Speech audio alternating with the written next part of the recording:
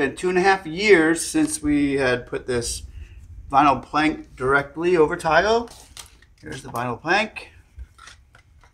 And directly over this tile floor. It's not, I should do this. It's, should I do this? So we're not telling you you should do it, but we're letting you know what the pros and cons are in case you decide to do it. This part, two years later, it's never. Right when we, you, I don't know if we can get it on the camera, can we? Just gonna show. I mean, for the most part, you would not notice that it's over, and that it's directly over tile, unless you were looking for it. That's pretty good. Look on this angle. You can see more here. You got an That angle. piece right here. All right, here's the angle. Did you get it? This piece in the middle are you're talking about. Yeah. And this piece, like kind of right there, where you see a little bit of it between the grooves. Yeah, you see the little slope. There's a little showing that, yeah, maybe it's not really flat as it should be there. But like I said, it's uh, if you're not, if you didn't know that it wasn't there, you wouldn't recognize it, right? What Do you think? Yeah. Okay, and going in here, as you can see, it came out really good. We did the hallway here, and this doesn't, I mean, this is perfect. It's, and it's such a small area, it doesn't really give the, the vinyl plank any room to bend. So the smaller the area, the less chance it has of the floor bending. And here's the bathroom, and you can see that it's doing great in the bathroom, which I, I thought it was going to bow in here more so because of the humidity that it gets, but Uh, it's actually, I guess, and also because it's a shorter distance from side to side, it keeps the keeps the vinyl plank from from sloping. So over here, that's so close. Now over here, as you can see, this area came out really good. There's no difference. You can't really tell that it's over tile, directly over tile. But right here, there's a spot. Another operator error. We will say OE on my part. What happened if you can It's push right here. Right there more. Yep. here more? Okay.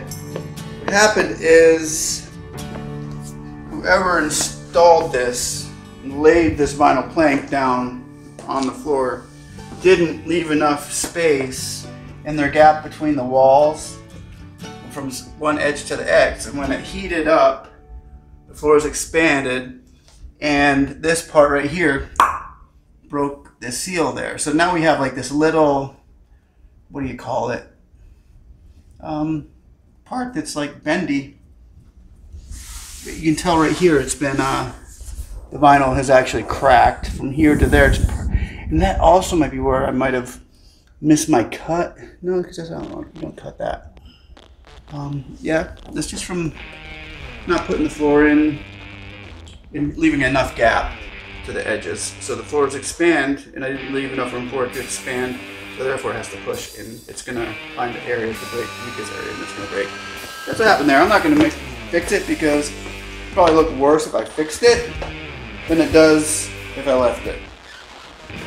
And uh, that's about it. But it's been, like I said, over two years. Can you help you out? Sorry. It's been over two years, and walk through. We know we just had a person yesterday email us and say they're getting ready to do this, and they were nervous. Yes, you should be nervous. You should be very nervous doing this. But you'll be all right. You get it. You got this. It came out really good, and we're still we're still glad we did it. The pros to it.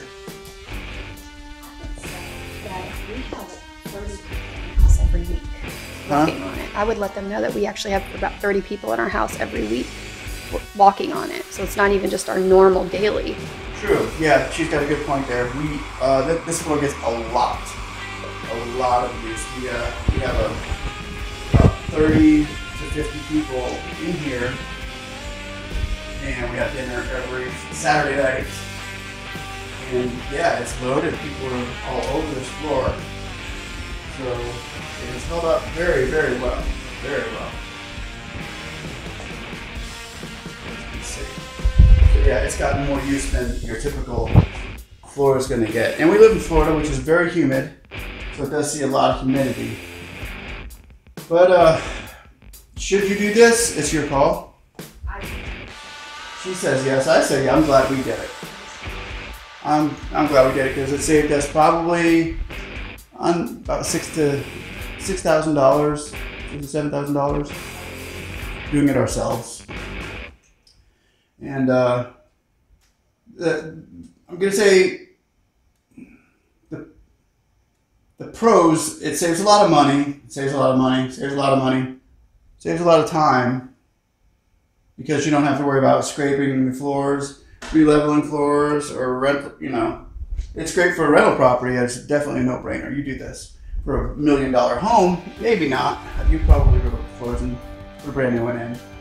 But uh, the pros are definitely saving money. You know, no re-leveling floors, saving time. You can walk over it as you do it, as you're working on it. You can still walk over it. Whereas if you're leveling your floor and breaking out your tiles, and, another pro is that when you're done, if you don't like it anymore, you take this up and you still got a beautiful tile underneath. So you've got two floors now instead of just one, which is uh, my favorite part about it. Uh, the cons, the cons are they could slope. Anyway, two, two years and two months later, here is our floors. And we want to thank you all for watching.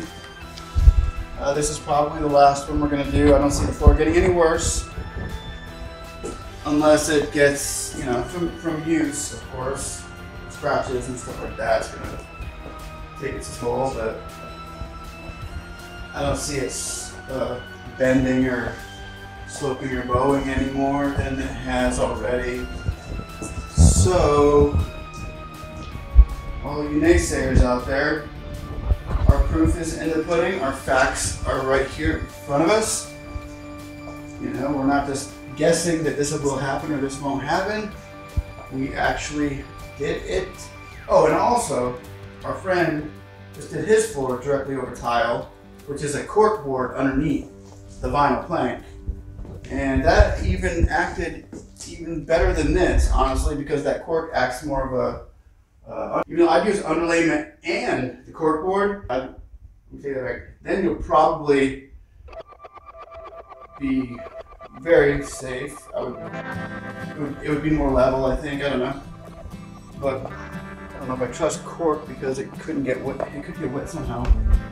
Anyway, you did use cork, and I'll show you a, a clip of that video too. It's a crown.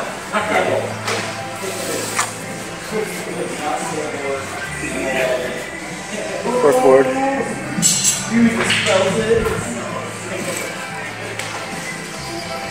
Just to put in his one. His house is uh, much bigger than this one. He did the whole house with cork board, and it was all tile. Directly, put it directly over tile floor. We helped him do it. He says it's uh, it's great. You never know that it wasn't. Uh, it was tile.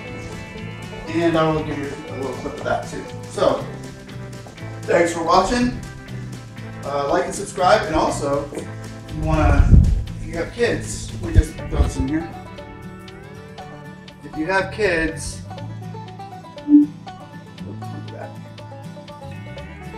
uh, check out Jonathan's Playhouse. It's my son's channel, and he's got real, some really fun stuff that, uh, that maybe you, would- your kids would enjoy watching. He's three years old. He's a toddler. To like Blippi a lot, and he even helped us out. He's in the first video we did, putting this floor in, and he's uh, he's one of the uh, hard workers that got in and up latest for us. So, once again, thanks for watching. Like and subscribe if you're going to be doing this more. And if you have any questions, we'll be more than happy to help. Thanks again. Sunday, Monday, Tuesday, Wednesday, Thursday, Friday, Saturday